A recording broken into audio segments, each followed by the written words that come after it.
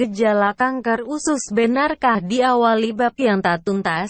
Pada tahap awal penyakit, penderitaan kanker usus mungkin tidak merasakan gejala apa pun. Namun lambat laun, gejala kanker usus dapat muncul ketika penyakit sudah mendiami tubuh dalam waktu lama. Kanker usus besar berasal dari jaringan usus besar yang terdiri dari kolon maupun rektum. Bagian terakhir dari usus besar sebelum mencapai anus, dubur. Kanker usus atau kanker kolorektal ini termasuk salah satu kasus kanker yang banyak terjadi di dunia. Bagaimana proses terjadinya kanker usus? Kebanyakan kasus kanker ini diawali dengan pertumbuhan jaringan polip di bagian dalam lapisan usus besar atau rektum. Meski demikian, tidak semua polip akan berkembang menjadi kanker. Peluang berkembang polip menjadi kanker tergantung pada jenis sel-sel yang membentuknya. Ada dua jenis polip yang dapat berkembang dalam saluran cernamu, yaitu 1. Polip adenomatosa Polip adenomatosa memiliki struktur menyerupai kelenjar dan umumnya tumbuh di lapisan bagian dalam usus besar. Jenis polip ini disebut juga sebagai adenoma dan merupakan jenis polip yang dapat berkembang menjadi kanker. 2. Polip hiperplastik Polip hiperplastik merupakan jenis polip yang lebih umum ditemukan dalam usus besar. Jenis polip ini bersifat jinak dan sangat jarang menyebabkan kanker. Perkembangan kanker kolorektal dimulai pada lapisan paling dalam usus besar, yang disebut mukosa. Jaringan kanker kemudian terus berkembang dan bisa mencapai pembuluh darah atau limfa. Seiring perkembangan stadium kanker, jaringan kanker dapat terbawa aliran darah atau sistem limfatik sehingga menyebar ke organ tubuh lainnya. Seperti inilah gejala kanker usus.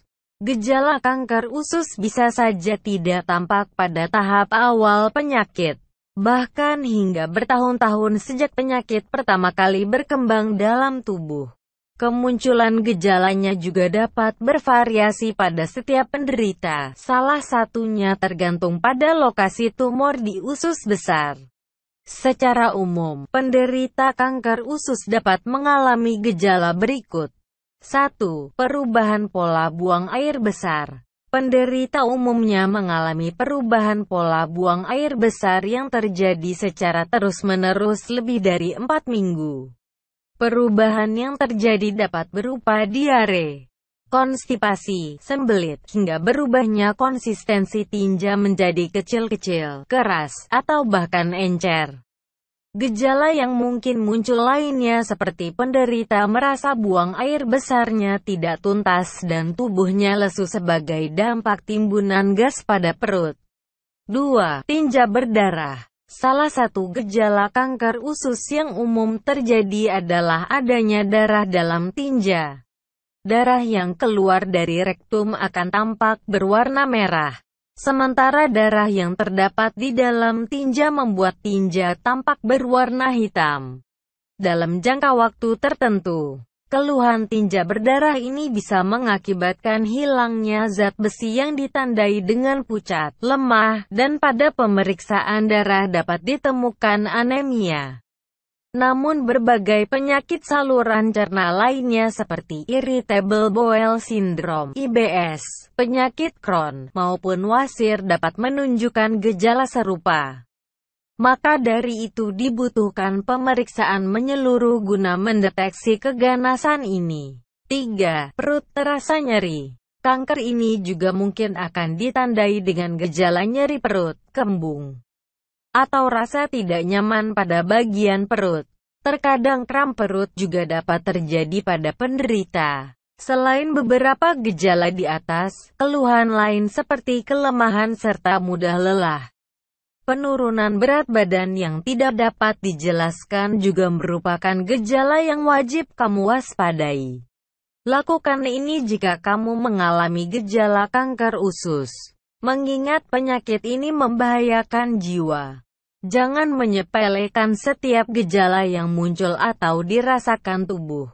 Konsultasikan dengan dokter untuk mengetahui langkah yang harus kamu ambil. Diagnosis, pemeriksaan, dan perawatan sejak dini adalah kunci untuk menangani penyakit ini. Jika kamu mengalami gejala kanker usus, dokter dapat menyarankan prosedur pemeriksaan berikut. 1. Pemeriksaan kolonoskopi Pemeriksaan kolonoskopi dilakukan dengan cara memasukkan sebuah tabung panjang, kecil, dan fleksibel ke dalam usus besarmu. Tabung ini memiliki kamera di bagian ujung yang berfungsi memantau kondisi seluruh bagian rektum dan usus besar. Jika terdapat sesuatu yang mencurigakan di dalam usus, Dokter dapat memasukkan perangkat khusus melalui tabung ini guna mendapatkan sampel jaringan dan mengangkat polip. 2. Pemeriksaan darah Pemeriksaan darah tidak dapat sepenuhnya menentukan apakah kamu menderita kanker usus. Tapi, hasil pemeriksaan ini dapat memberikan petunjuk tentang kondisi kesehatanmu. Melalui pemeriksaan darah, Dokter juga dapat memantau kadar senyawa kimia khusus yang disebut karkinoembryonik antigen CEA.